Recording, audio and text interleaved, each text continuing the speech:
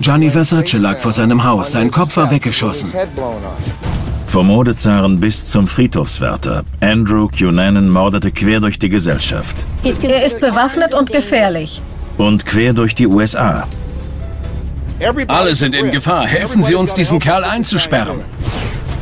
Dieser Killer war ein Meister der Verwandlung. Seinen spektakulärsten Mord verübte er, als das FBI ihm längst auf den Fersen war und ihn doch nicht zu fassen vermochte.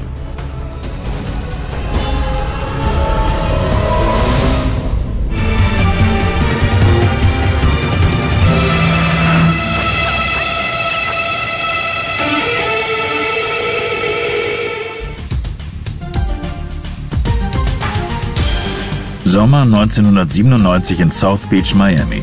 Einst ziemlich heruntergekommen, ist der Strandort seit einigen Jahren wieder das Urlaubsziel der Amerikaner. Der aufgefrischte Glanz der Art Deco-Villen und Hotels lockt die Jungen, Reichen und Schönen in Scharen an.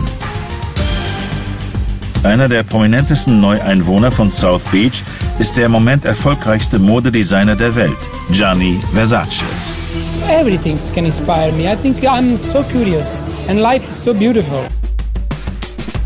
Das Schicksal, so scheint es zu diesem Zeitpunkt, hat es in der Tat gut gemeint mit Versace. Er ist auf der Höhe seines Erfolges. Die Creme der Gesellschaft von der Prinzessin bis zum Popstar reißt sich um seine Kollektionen. Seine Kleider zu tragen ist eine Ehre, selbst für Supermodels. Gianni Versace. Gianni Versace liebt die Frauen. Er lässt sie schön, glamourös und vor allem sexy aussehen. Legendär sind auch seine mit Weltstars gespickten Partys. In South Beach lebt er mit seinem Lebensgefährten Antonio D'Amico in der luxuriösen Villa Casa Casuarina an der Ocean Avenue. Nach anstrengenden Wochen in Europa freut sich Versace auf einen ganz entspannten Sommer in Florida. Doch den wird er nicht mehr erleben. Denn seit seiner Ankunft belauert ihn ein Mann, der sich seit mehr als zwei Monaten auf einem mörderischen Amoklauf befindet. Spree killings by their very nature ein Amokläufer ist grundsätzlich ein verzweifelter Mensch, der aus einer Lage keinen Ausweg mehr sieht. Er mordet immer weiter und bleibt dabei ständig in Bewegung. Gianni Versace hat am Morgen jenes 15. Juli nicht die geringste Ahnung, was ihm bevorsteht. Wie gewohnt ist er früh auf und verlässt das Haus. Er trägt seine Standardfarben Grau und Schwarz. Sein Morgenspaziergang führt ihn wie immer zum News Café. Dort kauft er Zeitungen und Zeitschriften und kehrt nach Hause zurück. An der Tür erwartet ihn bereits sein Mörder.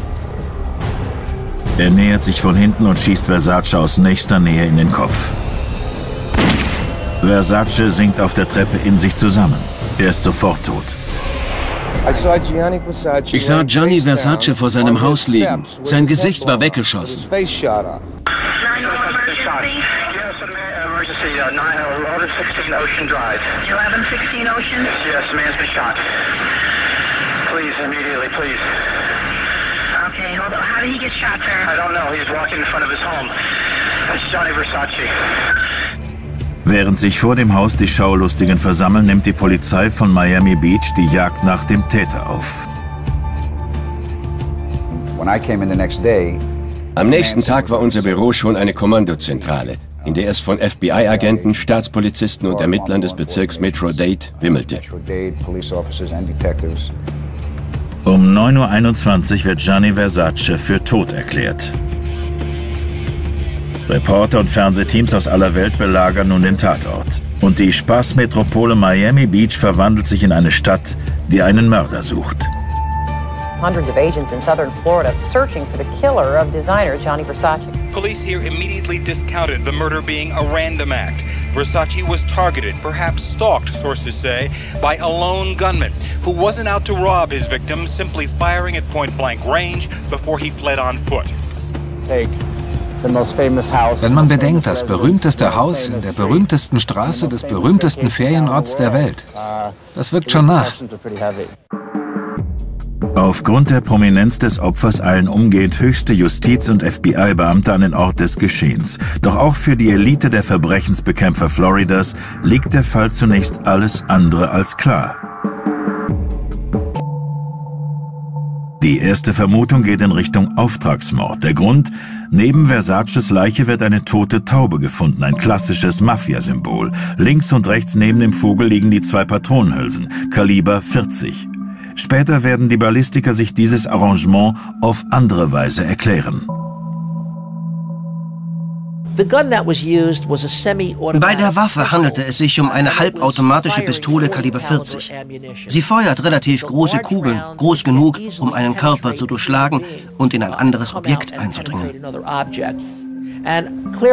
Die tote Taube neben Versaces Leiche war wohl so ein Fall. Aber so wie sie da lag, konnte die Polizei sie fälschlicherweise als Zeichen für einen Mafia-Anschlag deuten. Solche Fälle sind für die Ermittler extrem schwierig. Man braucht unbedingt genügend Leute vor Ort. In und um Miami tummelten sich enorm viele Polizisten, die sich umhörten und Informationen weitergaben. Aber die große Zahl allein bringt den Erfolg auch nicht. Es gibt noch eine weitere Spur. Ein Augenzeuge hat den flüchtigen Mörder nach der Tat zu einer nahegelegenen Tiefgarage laufen sehen. Dort findet die Polizei einen roten Pickup aus einem anderen Staat. Daneben liegt ein weggeworfenes Kleiderbündel. Offenbar war er zu dem Wagen gerannt und hatte dort die Kleidung gewechselt. Wir nehmen an, dass ihn dann ein Unfall aufgeschreckt hat, der sich exakt zu der Zeit an der 13. Straße ereignete. Die Sirenen ließen ihn glauben, die Polizei sei ihm bereits auf den Fersen, weshalb er die Flucht zu Fuß fortsetzte. Die Nummernschilder des Pickups stammen aus South Carolina, doch es wird schnell klar, dass sie nicht zu diesem Auto gehören. Die Ermittler überprüfen die Fahrgestellnummer.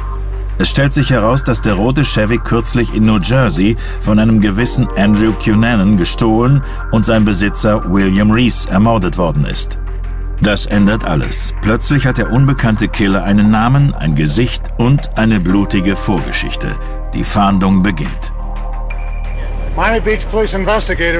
Die Polizei von Miami Beach und das FBI suchen gegenwärtig nach Andrew Philip Cunanan. Cunanan ist 27 Jahre alt, weiß und ungefähr 1,76 Meter groß. Er hat braune Haare und braune Augen. Cunanan lebt von Prostitution. Seine Kunden sind vor allem wohlhabende Männer. Er gehört momentan zu den zehn meistgesuchten Verbrechern des FBI. Kionanen wird verdächtigt, in den letzten drei Monaten neben Versace vier weitere Männer ermordet zu haben. Bis zum Mord an Versace lief die Fahndung nach Kionanen noch nicht auf Hochtouren. Die Polizei stand zuvor eben einfach noch nicht unter dem entsprechenden öffentlichen Druck, möglichst schnell zu handeln. Erst mit dem Versace-Mord entstand die Dringlichkeit, die das FBI und die Polizei der Sache wohl von Anfang an hätten beimessen sollen. Doch selbst die geballte Macht der Ermittler hat es überaus schwer, Cunanan zu fassen. Es gibt ja immer noch dieses Klischeebild von Serienmördern als den Wahnsinnigen mit dem starren Blick, so wie in den Horrorfilmen. Uh, so sind sie aber in Wirklichkeit gar nicht, sondern im Gegenteil meist geradezu verblüffend unauffällig. Deshalb war Cunanan so schwer aufzuspüren. Je länger die Suche dauert, desto mehr wächst der Druck auf die Behörden. Versaces Umfeld ist immer noch fassungslos. Er war so ein wunderbarer Mann, so liebevoll. Sein ganzes Team war toll. Seine Schwester Donatella ist großartig. Man fühlt sich einfach wohl. Wie hatte Kionanen überhaupt so unbehelligt von New Jersey nach Florida gelangen können? Auch diese Frage wird immer drängender gestellt. Wir hatten gewusst, dass er aus South Carolina in diese Richtung unterwegs war. Aber Florida ist ein großer Staat. Wir konnten doch nicht wissen, dass sein Ziel Miami ist. We don't know that his intention was to go to Miami. There was no indication. Dafür gab es keine Anzeichen. Er hat ja keine Pressemeldung herausgegeben. Hallo, ich fahre nach Miami. Uh, Wenn er das getan hätte, wäre die Polizei in der Gegend sicher auf dem Posten gewesen.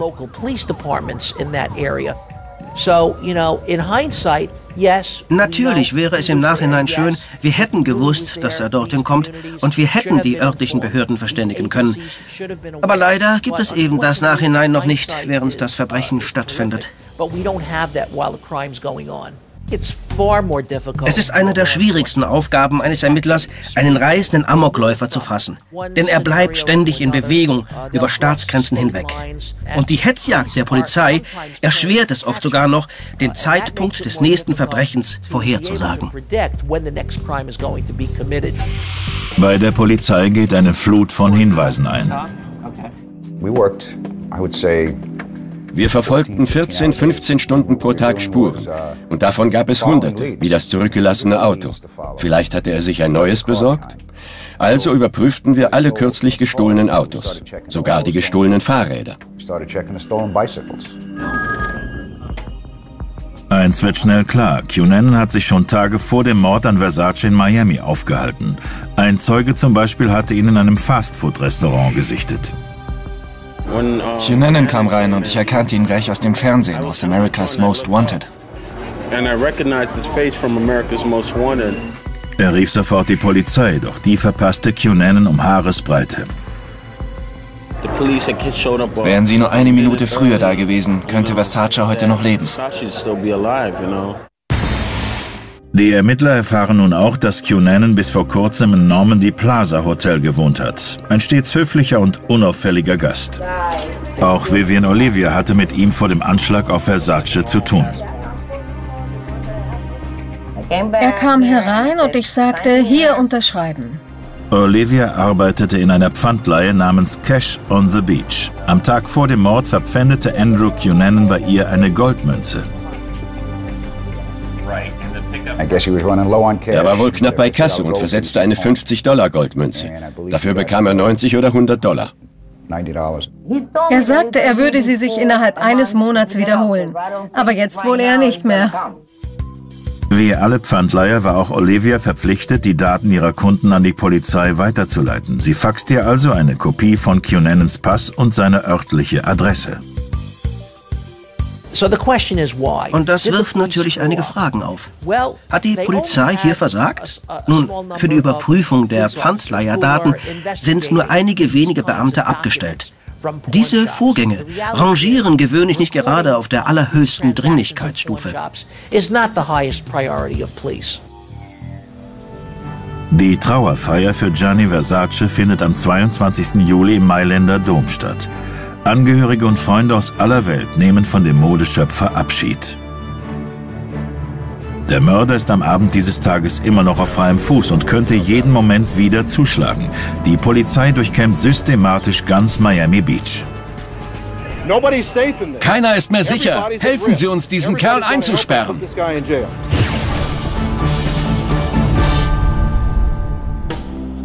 Die Sonne lacht über Miami Beach, doch der Schein trügt. Angst liegt über dem Urlaubsparadies, denn Andrew Cunanan bleibt unauffindbar.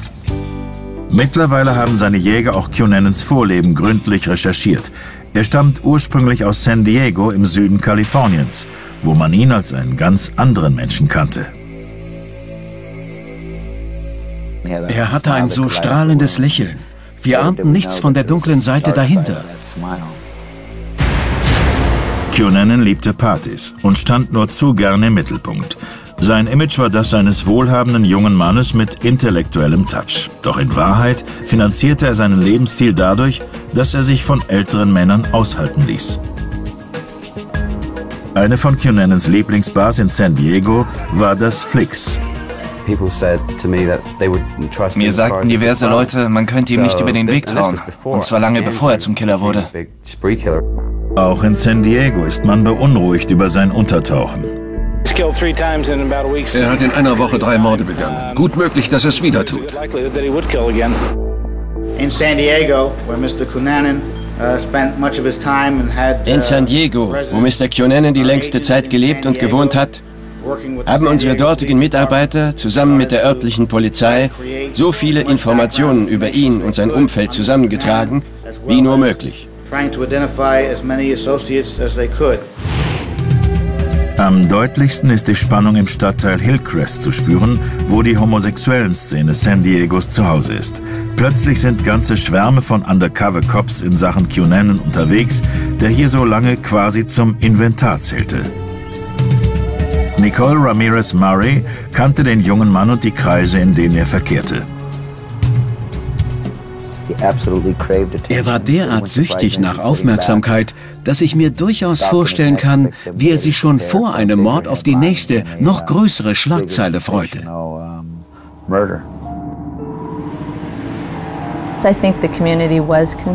Die Szene war schon in Aufruhr, weil ja immer die Möglichkeit bestand, dass er hierher zurückkommen würde. Auch die Gay Pride Parade stand an. Er kann sich nur schwer verstecken. Vielleicht verändert er sein Aussehen. Seinen Namen hatte Cunanan schon lange zuvor verändert. Als nach dem Versace-Mord überall die Fahndungsplakate mit seinem Bild hängen, erkennen einige darauf ihren alten Bekannten Andrew de Silva wieder. Der Name Andrew Cunanan stand unter dem Bild von Andrew de Silva, was uns einen richtigen Schock verpasste. Nun kam also die ganze schreckliche Wahrheit ans Tageslicht. Cunanan hat Freunden gegenüber häufig mit seinen Kontakten zu hochrangigen und prominenten Persönlichkeiten geprahlt. Das FBI mahnt zu besonderer Vorsicht. Jeder, der ihn kannte, sollte auf der Hut sein. Die Polizei beschreibt Cunanan als gewalttätig, unberechenbar und sehr gerissen. Ich denke, sämtliche Ermittlungsbehörden strickten an dieser Legende vom Superkiller Cunanan mit. Als wäre er so eine Art Kreuzung aus Hannibal Lecter und James Bond.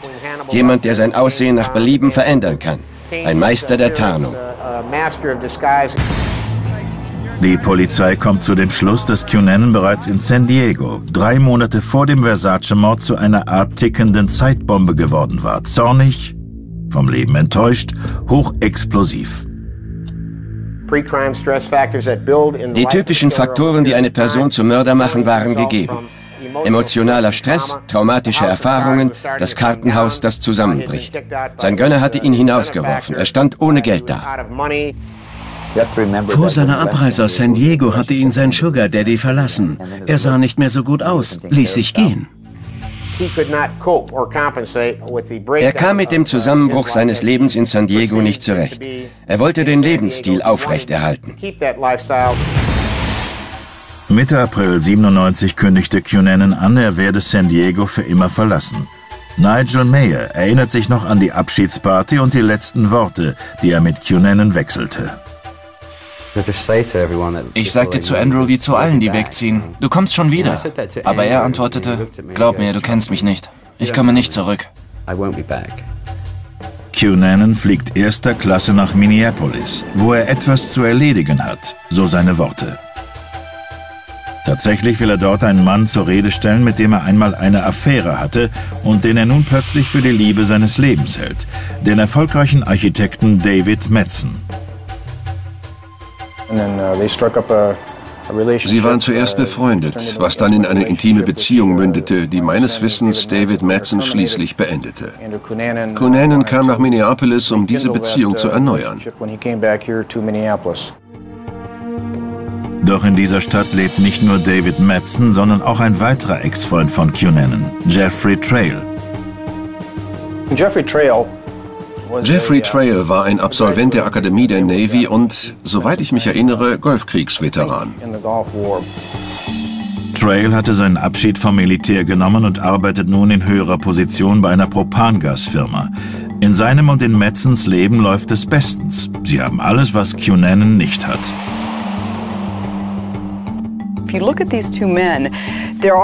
Diese beiden Männer haben einiges gemeinsam. Sie sind jung, gut aussehend, schwul, haben aber auch Erfolg in der Hetero-Welt, vor allem beruflich. Und beide führen ein offenes Leben, anders als Andrew, der ständig etwas verheimlichen muss. Die beiden hatten sich in Minneapolis durch Cunanan kennengelernt und waren mittlerweile ihrerseits Freunde geworden. Doch keiner der beiden ist so recht erfreut über die Aussicht auf den Besuch des Ex-Liebhabers. Es gibt gute Gründe, warum sie sich von Cunanan zurückgezogen haben. Madsen brach die Beziehung zu ihm ab, weil er nicht dahinter kam, wie Andrew sich eigentlich finanzierte.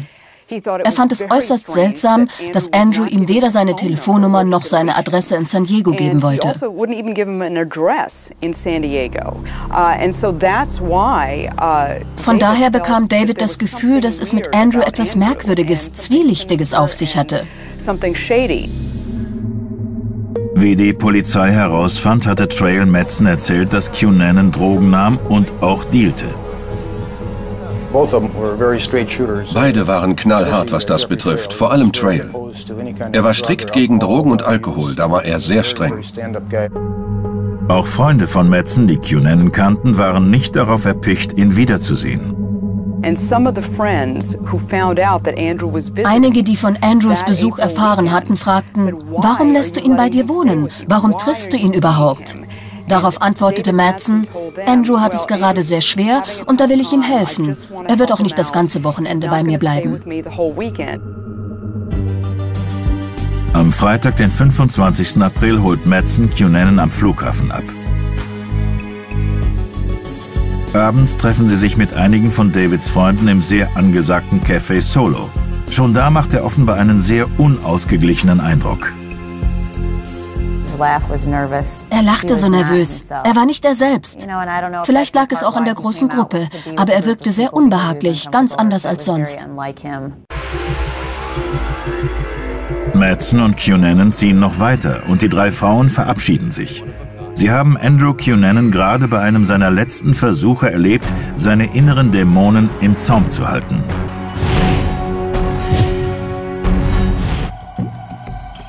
Der Freitagabend jedoch geht noch friedlich zu Ende. Madsen zeigt sich seinem Ex-Freund gegenüber distanziert, doch er lässt ihn in seinem großzügigen Loft im Zentrum von Minneapolis übernachten. Aber die folgende Nacht verbrachte Andrew in Jeffrey Trails Wohnung, die in einem Vorort namens Bloomington lag. Trail selbst und sein neuer Freund waren verreist. Der Schlüssel für Cunanan liegt unter dem Fußabstreifer. Am Sonntagmorgen um 10 Uhr nimmt er noch einen Anruf für Trail wegen eines Softballspiels entgegen. Er schreibt die Botschaft auf einen Notizblock und unterzeichnet mit Love Andrew.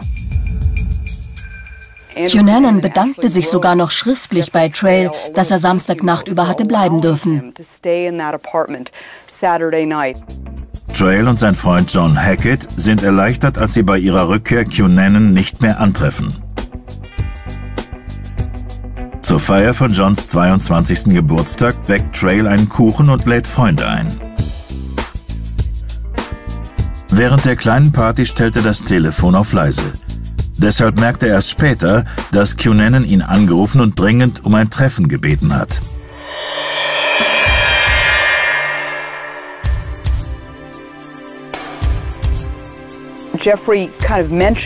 Jeffrey erwähnte eher beiläufig, sein alter Freund Andrew wolle ihn sehen. Und offenbar versuchte er sogar, das Treffen vorzuverlegen, um abends ausgehen und den Geburtstag seines Freundes feiern zu können.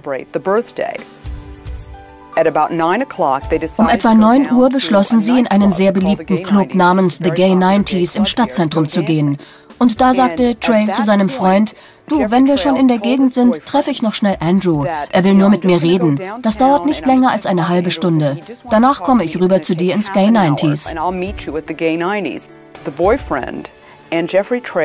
Trails Freund und er fuhren mit getrennten Wagen in die Stadt. Das Gay 90s lag gleich um die Ecke von Madsons Wohnung. Uh, Trail hat eingewilligt, Cunan bei Madsen zu Hause zu treffen. Was er jedoch nicht weiß, der Übernachtungsgast hat in der Nacht zuvor aus Trails Wohnung eine halbautomatische Pistole entwendet, zusammen mit Holster, Kugeln und zwei Magazinen. Trail parkt seinen Wagen gleich bei Madsons Haus. Um 21.45 Uhr läutet er und wird eingelassen. Nach den Erkenntnissen der Polizei griff Cunanan Trail gleich beim Hereinkommen an. Madsen war gerade dabei, sein Loft zu renovieren, weshalb einiges Werkzeug herumlag. Cunanan griff sich einen Klauenhammer und schlug damit auf Trail ein. Er traf ihn 27 Mal. Trails Uhr wurde zerschmettert und blieb bei 21.55 Uhr stehen.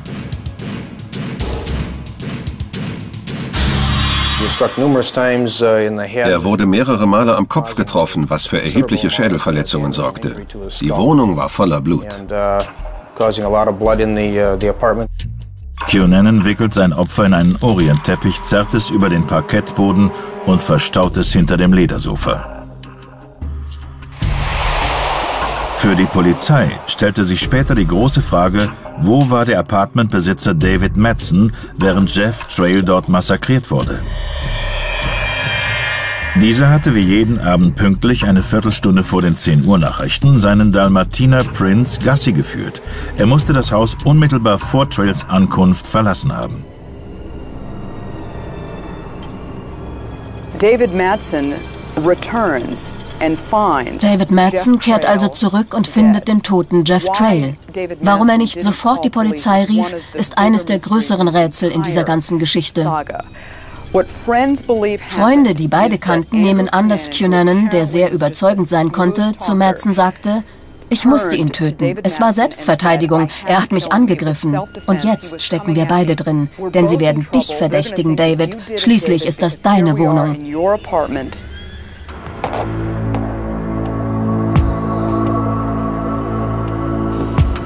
Am folgenden Morgen, es ist Montag, fallen den Nachbarn einige Merkwürdigkeiten auf. Madsen führt Prince wieder spazieren, aber anders als sonst an der Leine. Und neben ihm geht ein Mann, der an diesem strahlenden Sonnentag einen Regenmantel trägt. Madsen selbst wirkt abgespannt und missgelaunt. In diesen Zeugenberichten wird der sonst offenbar stets wie aus dem Ei gepellte Madsen als leicht zerzaust beschrieben. Im Gegensatz dazu wirkte Cunanan äußerst ausgeschlafen.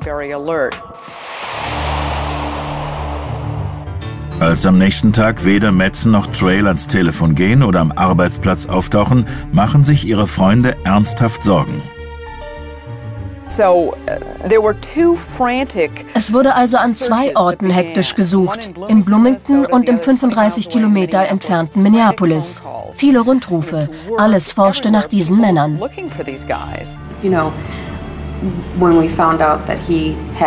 Als wir hörten, dass er nicht in der Arbeit aufgetaucht war, fuhren wir sofort zu ihm, weil das so ungewöhnlich war. Wir machten uns große Sorgen, sonst rief er immer an, sogar aus dem Urlaub. Am Dienstag um 12.15 Uhr kommen Linda und Laura bei Madsons Loft an. Sie klopfen an die Tür und rufen seinen Namen. Sie hören den Hund winseln und flüsternde Stimmen. Sie klopfen und rufen, David, komm raus. Aber dann vermuten sie, dass er mit jemandem im Bett ist. Sie fahren also zurück zur Arbeit. Aber um 13.40 Uhr kommt Linda wieder und hat bereits die Polizei alarmiert. Doch als diese eintrifft und ihr erklärt, dass sie die Tür aufbrechen und Metzens Hund erschießen müsse, falls dieser aggressiv wird, überlegt Linda es sich anders. Der Hund war in der Wohnung, als die Polizei von Mr. Madsons Kolleginnen gerufen wurde. Das ist in der Tat eine sehr schwierige Entscheidung für einen Polizisten.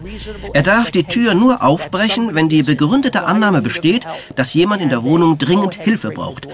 Es gibt ein garantiertes Recht auf Privatsphäre, das ein Polizist zu respektieren hat. Und das war dann der Moment, in dem ich sagte, Gehen wir nicht da rein. Es geht ihm sicher gut.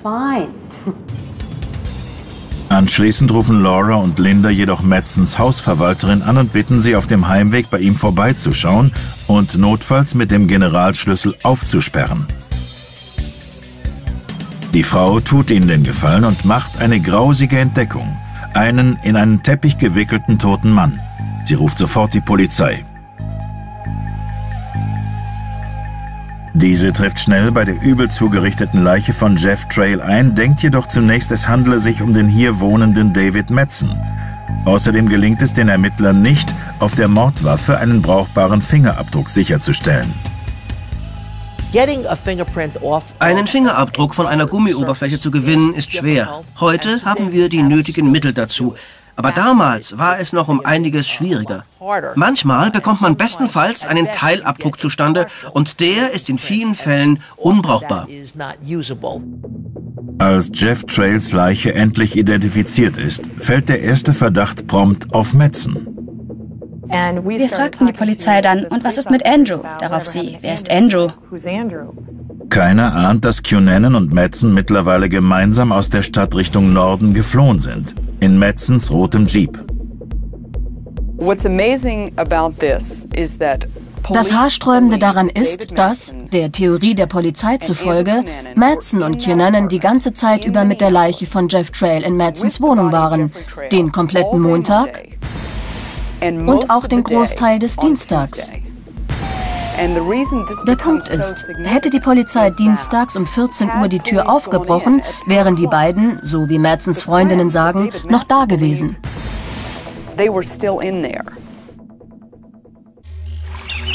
Am Samstag, den 3. Mai, suchen zwei Männer am East Rush Lake nördlich von Minneapolis nach geeigneten Zeltplätzen für ihren nächsten Angelausflug. Da sehen sie am Ufer eine Leiche liegen. Es ist David Madsen. Er hat drei Schusswunden, eine im rechten Auge, eine in der rechten Wange und eine im Rücken. Ich kam am Sonntag nach Hause und las in der Zeitung die Beschreibung der Leiche am East Rush Lake. Und da sagte ich zu meinem Verlobten, das muss David sein. Das war das Schlimmste. Wir denken, dass er wohl im Auto erschossen und dann erst zum Seeufer geschleppt wurde. Wie so oft bei dieser Art von Serienverbrechen beginnt die Sache auch hier mit einem Selbstmordwunsch. Im Grunde waren Cunanans erste beiden Morde in Minneapolis ein an anderen verübter Selbstmord. Nun wird auch der Polizei klar, dass Madsen nicht der Mörder von Trail war. Die Fahndung nach Cunanan beginnt, doch dieser ist schon längst über alle Berge. In Madsens Jeep fährt er nun Richtung Südosten nach Chicago. Bis jetzt war Andrew Cunanan ein Niemand gewesen und hatte sehr darunter gelitten. Dabei war er in der Highschool noch zu dem Schüler gewählt worden, dem man am ehesten zutraute, berühmt zu werden. Nun ist er auf dem besten Wege dazu, wenn auch wohl auf andere Weise, als seine Mitschüler damals dachten. Auch er selbst sah sich als Star, als jemand, der mit seinem einnehmenden Wesen überall Eindruck machte.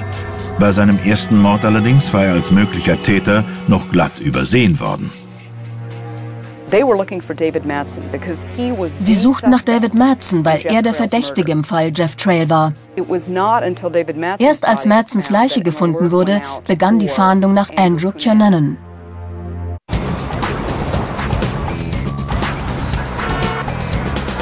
Lee und Marilyn Micklin sind ein äußerst wohlhabendes Paar. Seit 37 Jahren verheiratet, gehören die beiden zu den oberen 10.000 von Chicago. Lee ist ein erfolgreicher Bauunternehmer. Marilyn hat eine Kosmetikfirma und ist als Moderatorin des Home Shopping Network im ganzen Land ein Begriff. Sie wohnen an Chicagos nobler Gold Coast und sind auf Du und Du mit dem Bürgermeister und anderen wichtigen Repräsentanten der Stadt. Lee Miglin war so eine Art Donald Trump von Chicago, ein sehr bekannter Bauunternehmer. Aber noch bekannter war Marilyn Miglin. Ihr Laden liegt in einer der attraktivsten Gegenden der ganzen Stadt. Eine Straße dort trägt sogar ihren Namen. Sie ist sehr berühmt. Am Samstag, den 3. Mai, ist Marilyn auf Geschäftsreise, aber Lee ist zu Hause. Ein Nachbar beobachtet, dass anders als sonst in der Küche die Jalousien heruntergelassen sind. Bei Marilyns Rückkehr fehlt von ihrem Mann jede Spur. Sie verständigt sofort die Polizei. Was diese findet, übertrifft Marilyns schlimmste Befürchtungen. Police found Lee Miglin with his throat slashed and feet bound with masking tape. The 72-year-old real estate magnate was on the floor of the garage behind his Scott Street home. Meines Wissens fanden sie Miglin nicht gleich. Sein Kopf war mit Kreppband eingewickelt. Er hatte zahlreiche Stichwunden. Später stellte sich noch heraus, dass er mit einer 1,50 Meter langen Gartenschere gefoltert worden war. Der Täter hat einige tausend Dollar, Micklins Goldmünzensammlung und seinen grünen Lexus gestohlen. Eines der brutalsten Verbrechen, das die Polizei von Chicago je erlebt hatte. Er war ein guter Mensch. Das hat er nicht verdient. In ganz Chicago fragt man sich nach dem Motiv für den Mord. Doch dann macht die Polizei einen wichtigen Fund. The discovery of a suspected murderer's apparent getaway car abandoned less than a block from the Miglin house. Drei Tage nach der Tat war einer Polizistin in der Nähe des Miglin-Hauses ein roter Jeep aus Minnesota aufgefallen, wegen diverser Strafzettel an der Windschutzscheibe. Der Eigentümer des Wagens, so findet sie heraus, ist ein Mordopfer namens David Madsen. Als Hauptverdächtiger in diesem Mordfall wird von der Polizei Andrew Cunanan geführt. Da haben die Ermittlungen entscheidend versagt. Sie kamen erst spät am Dienstag auf den Jeep, was sehr unglücklich war. Früher hätten sie damit viel mehr anfangen können. Im Wagen liegen Kleidungsstücke der vorherigen Mordopfer und ein Stadtplan der Gold Coast-Gegend. Wir machen eine sehr schwere Zeit durch. Ich bin gerade aus Los Angeles eingetroffen und wir trauern alle um meinen Vater. Während die Spitzen der Gesellschaft von Chicago sich zur Trauerfeier für Lee Miglin versammeln, forschen die Ermittler nach, ob nicht doch ein versteckter Zusammenhang zwischen ihm und seinem Mörder bestehen könnte. Sie mutmaßen, Cunanan könnte ein Bekannter seines Sohnes Duke sein. For the past week, Duke Miglin has been repeatedly questioned by family members about whether or not he knew suspect Andrew Cunanan. He was asked again today, we've learned. Aber die Familie Miglin bleibt letztendlich dabei, dass keiner von ihnen je mit Cunanan in Kontakt gekommen sei. Der Polizei schwant nun jedenfalls, dass sie es mit einem Täter zu tun hat, der sich auf einem ausgedehnten Amoklauf befindet. Der erste Mord erregte eine ganze Woche lang kein sonderliches Aufsehen. Da hatte Cunanan einfach Glück. Erst als David Madsons Leiche gefunden wurde, merkte die Polizei, dass sie einen Verdächtigen namens Andrew Cunanan hatte und das machte Schlagzeilen. Als dann am Dienstag noch Lee Midland hinzukam, ging es richtig hoch her. Andrew Cunanan wird nun wegen drei Morden in zwei Staaten gesucht und ist damit endgültig ein Fall für das FBI. Er ist in Miglins Lexus unterwegs und hat einen großen Vorsprung, aber er weiß noch nicht, dass sein Name und sein Bild auf allen Fahndungslisten stehen. Einigermaßen sorglos benutzt er auch Miglins Autotelefon, wodurch ihn das FBI bald orten kann, mithilfe einer Software namens Triggerfish. It is a device that police das ist der Name einer Technik, die die Ermittlungsbehörden bis heute verwenden. Wenn jemand wie Andrew Cunanan übers Land reist und dabei ein Mobiltelefon benutzt, erfahren wir mit diesem Programm schnell und ziemlich genau, wo er sich in diesem Moment aufhält. Cunanans Signal wird von einem Mobilfunkmasten in Pennsylvania aufgefangen. Offensichtlich bewegt er sich geradewegs auf New York zu, doch danach erfolgen keine weiteren Anrufe. Die Ermittler tappen also wieder im Dunkeln. Im Zuge der Rekonstruktion des Falls wird sich später herausstellen, dass Cunanan tatsächlich in New York einige Tage Pause eingelegt hatte. Mit Miglins Geld ging er sogar seelenruhig shoppen.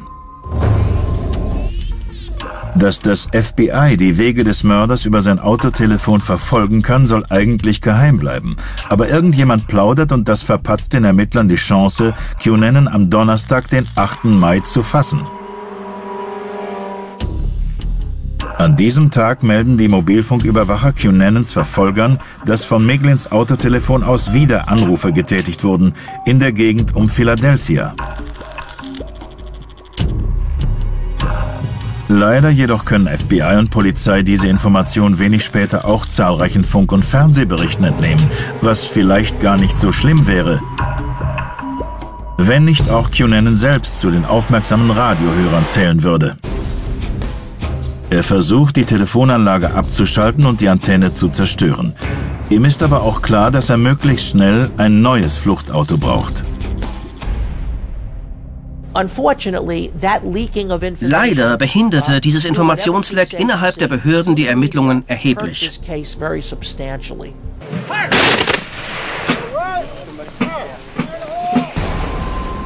William Rees liebt seine Arbeit als Wärter des Bürgerkriegsfriedhofs in Penville, New Jersey. Am Freitag, den 9. Mai, hat er einige Büroarbeiten zu erledigen. Was er nicht bemerkt, er ist nicht allein. Andrew Cunanan hatte sich durch einen Seiteneingang hereingeschlichen. Als Reese an jenem Abend nicht nach Hause kommt, ruft seine Frau die Polizei. Diese ist schnell zur Stelle. Und die Medien auch. He is being described as a caretaker here at yes, the cemetery. he is. Right? Mm-hmm. Who found the body? The police. Die Polizei findet Rees Leiche und auch Lee Miglins grünen Lexus. Nun wird Cunanan also schon in drei US-Bundesstaaten wegen Mordes gesucht. Die Nacht bricht über New Jersey herein. Jetzt ist den Ermittlern endgültig klar, dass Cunanan immer weiter morden wird, wenn sie nicht bald stellen. Das FBI warnt über die versammelten Medien die Bevölkerung. We consider him armed and dangerous. If anybody sees him, sees the vehicle, the red pickup, you are told you are encouraged to call 911. You are not to stop. Andrew Cunanan fährt tatsächlich in William Rees rotem Pickup weiter Richtung Süden. Da er weiß, dass nach dem Auto gesucht wird, stiehlt er in South Carolina einen Satz Nummernschilder und schraubt sie an den Wagen. Nun, da ihn die Ermittlungsbehörden kennen, ist er endgültig ein Amokläufer auf der Flucht. Es scheint nur noch eine Frage der Zeit zu sein, bis er der konzertierten Fahndung ins Netz geht. Doch im Juli, zweieinhalb Monate später, ist Cunanan immer noch frei. Und er hat wieder getötet. Wegen seines letzten Opfers Gianni Versace ist ganz Florida in Aufruhr. Die Ermittler glauben weiterhin, dass Cunanan sich in South Florida aufhält. Für seine Ergreifung sind 45.000 Dollar ausgesetzt. Fünf Morde hat er begangen, teils impulsiv, teils aus Berechnung. Aber bislang ist ihm die Polizei nie auch nur nahe gekommen. Doch dann, mehr als eine Woche nach dem Versace-Mord, kommt ein Hinweis. Auf dem Weg zu seiner Yacht schlendert ein Mann an der Collins Avenue an einem Kerl vorbei, der ein Buch liest. Sieh an, denkt er sich noch im Weitergehen. Das Buch habe ich doch auch gerade gekauft. Er kommt zu seiner Yacht und sie ist restlos ausgeplündert. Einbruch. Und das Buch ist auch weg. Wir zeigten ihm ein paar Fotos und er deutete auf Cunanan.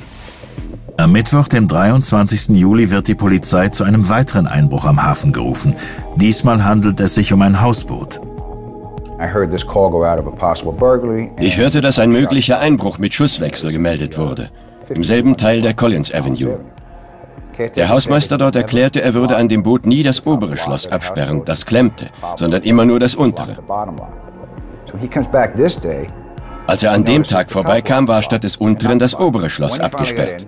Drin fand er dann das Wohnzimmer ein wenig verwüstet. Ein Stuhl war umgeworfen worden. Außerdem standen fremde Schuhe da und der Fernseher lief. Als der Hausmeister einen Schuss hört, lässt er seinen Sohn die Polizei holen. Diese sperrt sofort das gegenüberliegende Kanalufer ab, falls Cunanan auf die andere Seite schwimmen und flüchten will. Auch die vielbefahrene Collins Avenue wird abgesperrt. Nur eine halbe Stunde später sind das FBI und ein Sondereinsatzkommando eingetroffen und bereit, Cunanan zu stellen. Es gibt sehr genaue Anweisungen. Wenn Cunanan da drin ist, bringt ihr ihn mit dem FBI aufs Polizeirevier und verhört ihn. Wenn nicht, müssen Fingerabdrücke genommen werden, um zu beweisen, dass er da war. Aber lange passiert nichts. Die Anspannung wächst. Dann entschieden sie sich dafür, Betäubungsgas hineinzuschießen. Und zwar genug, um die ganze Straße einzuschläfern. Das Sonderkommando ging rein und fand oben jemanden im Bett liegen. Sie meldeten, da liegt wer im Bett, ein Toter. Und um halb vier morgens sahen wir dann auch die Leiche und das Gesicht des Toten. Keine Frage, es war Cunanan. Aber sie wollten ganz sicher gehen und ihn über die Fingerabdrücke identifizieren. Erst am folgenden Tag gibt die Polizei Cunanans Selbstmord bekannt.